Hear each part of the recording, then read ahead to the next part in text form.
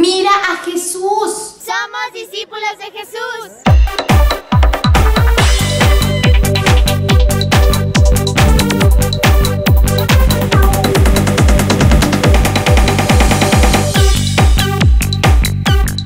Hola amigos de Ami Andy, bienvenidos a su devocional Discípulos de Jesús. Yo soy Miss Nat y estoy muy contenta de poder compartir con ustedes la palabra de Dios porque juntos estamos aprendiendo a ponerla en práctica, ¿verdad?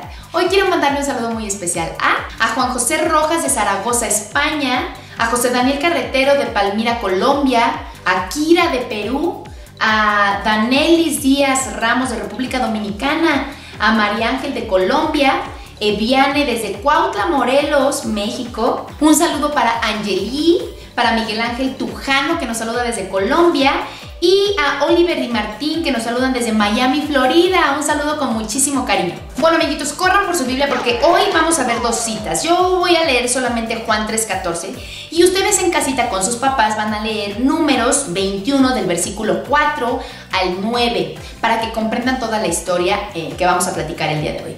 Fíjense muy bien, dice aquí en Juan 3, versículo 14. Dice, y como Moisés levantó la serpiente en el desierto, así es necesario que el Hijo del Hombre sea levantado, para que todo aquel que en él cree no se pierda, mas tenga vida eterna. Y bueno, te voy a dar un poquito del contexto de números 21, 4, 9. Fíjate muy bien. En este capítulo de números habla de la serpiente de bronce. O sea que el pueblo estaba como pues como que estaba en contra de Dios, murmuraba, etcétera, pues se quejaba de todo, que no había pan, que no había agua. Y bueno, Jehová envió entre el pueblo serpientes ardientes que mordían al pueblo y murió mucho pueblo de Israel. Entonces el pueblo vino a Moisés y dijo, hemos pecado por haber hablado contra Dios y contra ti, ruega por favor a Dios que quite de nosotros estas serpientes. Y Moisés oró por el pueblo. Y entonces Dios le dijo a Moisés, hazte una serpiente ardiente y ponla sobre un asta, o sea, que la colgara en un palo, como si colgaras una bandera, ese se llama asta.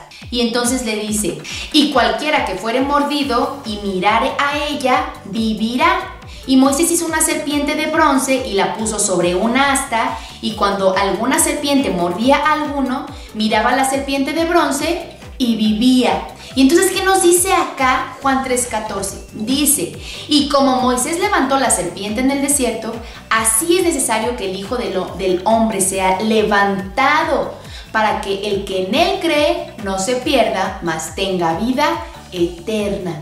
Amiguitos, yo creo que en estos días todos tenemos que aprender a mirar a Jesús. Mirar a Jesús. Ciertamente tú y yo somos heridos por mucha gente, pues en la escuela, en tu casa, aún en la iglesia, la verdad. Somos heridos porque a lo mejor se burlan de nosotros, a lo mejor tus amigos no quisieron jugar contigo, a lo mejor hicieron un chisme que tú dijiste algo y no era cierto, a lo mejor te regañaron injustamente, o sea, todos aquí somos heridos, ¿sí o no? Es más, en tu casa, ¿cuántas veces los hijos han sido heridos por los mismos papás? Muchas. Yo te puedo decir que como mamá muchas veces he sido injusta con mis hijos. Los he herido. A veces les he dicho a lo mejor alguna cosa que no tuve que haber dicho y, y los herí. Lastimé su corazón. Y bueno, esa es otra historia, ¿verdad? Si me, me, me, puse a cuentas con Dios y también les pedí una disculpa a ellos, etc. Pero todos hemos sido heridos. Es más, los papás también hemos sido heridos por los hijos. A ver, pregúntale a tus papás. Te van a decir que sí. Todos hemos sido heridos. Bueno, y por los hermanos más. Luego entre hermanos nos decimos cosas que no debemos decir. Somos hirientes, ya no te quiero, ya no eres mi hermano, vete para allá, shu, cosas así, ¿no? ¿Te ha pasado? Bueno, entonces, como todos hemos sido heridos en alguna forma, necesitamos aprender a mirar a Jesús. Mirar a Jesús, porque Jesús ha sido levantado. Jesús ha sido levantado para que todo el que en Él cree no se pierda, mas tenga vida eterna. Jesús puede sanar tus heridas. Mira, creo que tenemos que aprender a reconocer que Jesús es nuestro sanador. Jesús es el que nos, el que nos sana las heridas, el que nos venda las heridas. El Espíritu Santo es el que nos consuela. Entonces tú y yo tenemos que aprender a mirar a Jesús. Mira, tú puedes decir, ay, es que se burló de mí. Y cuando ves a Jesús te das cuenta, de Jesús también se burlaron. Ay, es que fueron injustos, me pegó y yo no lo merecía. Y ves a Jesús y te das cuenta, también a él le pegaron y él no lo merecía. No, pero es que mintieron y me traicionaron. ¿Ves a Jesús? También a él lo traicionaron. ¿Te das cuenta? Cuando nosotros aprendemos a ver a Jesús, cualquier cosa que tú quieras decir, oh, ¿y cómo sufro? Vas a reconocer que Jesús también padeció lo mismo. Entonces eso te va a traer más paz y vas a saber que Jesús vivió muchas cosas que tú a lo mejor estás viviendo. Entonces puedes correr a Él y a pedirle que te ayude, que te fortalezca, que te sane. ¿Quieres? ¿Qué te parece que cerramos nuestros ojitos? Papito lindo, muchas gracias por tu palabra, gracias porque hoy queremos aprender a mirar a Jesús. Queremos que nuestros ojos estén puestos en Él, queremos que Él sea nuestro antídoto, nuestra medicina, queremos verlo a Él, queremos ser sanados por Él.